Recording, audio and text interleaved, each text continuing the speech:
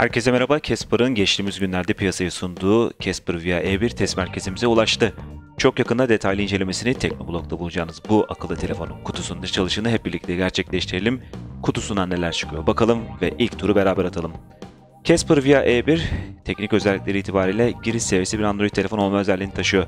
5 inç HD ekran, 16 GB dahil hafıza, 8 megapiksel arka, 5 megapiksel ön kameraya sahip olan bu telefonda 4.5G desteği aynı zamanda parmak izi okuyucusu bulunuyor. Bu gibi özellikleri sahip olan Casper Via E1 metal tasarımına sahip böylelikle kullanıcılara uygun fiyattan yüksek profilli, yüksek kaliteye sahip bir telefon sunmuş oluyor.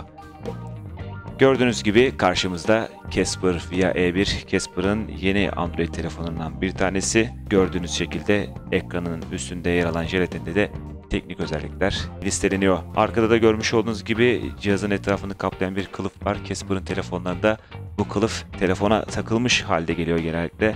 İsterseniz bu şekilde telefonun gövdesini, metal gövdesini dış etkenlere karşı korunaklı şekilde tutabilirsiniz. Bu silikondan yapılmış kılıfı da kolaylıkla çıkarmak mümkün oluyor ve böylelikle de gördüğünüz gibi Casper Via E1'in metal tasarımına, metal gövdesine erişmek mümkün oluyor.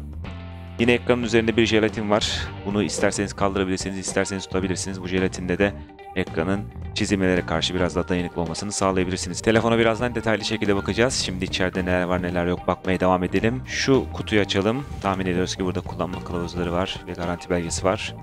Aynen düşündüğümüz gibi eğer Casper Via E1 hakkında bilgi sahibi olmak istiyorsanız bu kitapçığa bakabilirsiniz. Daha aşağılara indiğimizde bir üçlü var. Bu üçlü kutunun içinde şarj adaptörü, kulaklık ve gördüğünüz gibi micro USB kablosu bulunuyor.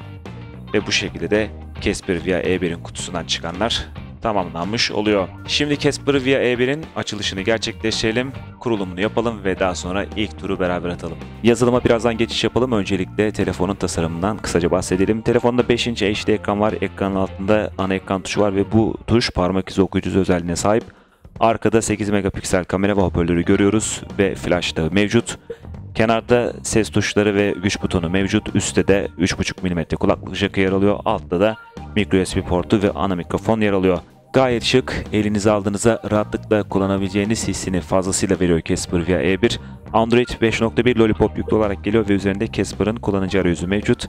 Uygulama çekmecesi yok. Bütün uygulama kısa yolları, ikonlar, bileşenler hepsi ana ekranda bulunuyor ve Android 6 Marshmallow'da yakında bu telefona gelecek Casper bunu belirtiyor. Casper'ın çeşitli yüklediği uygulamalar var. Bunun dışında yine Google uygulamalarını görüyoruz. Kingsoft'un sunmuş olduğu WPS Office ve Casper'ın S-Cinema adlı uygulaması da mevcut. Bu arada Casper yazılım güncellemelerini Casper OTA adını verdiği bir uygulama yardımıyla sunuyor. Böylelikle güncellemeleri de daha pratik şekilde kontrol etmek mümkün oluyor. Aynı zamanda hızlı temizlik adı verilen bir uygulama da var hızlı temizlik sayesinde de cihazınızı hızlandırmanız, RAM'de yer açmanız mümkün hale geliyor. Aynı zamanda uygulama yöneticisi de görmüş olduğunuz gibi ana ekranda yer alan ve telefonun optimizasyonunu kolaylaştıran, pratikleştiren bir uygulama.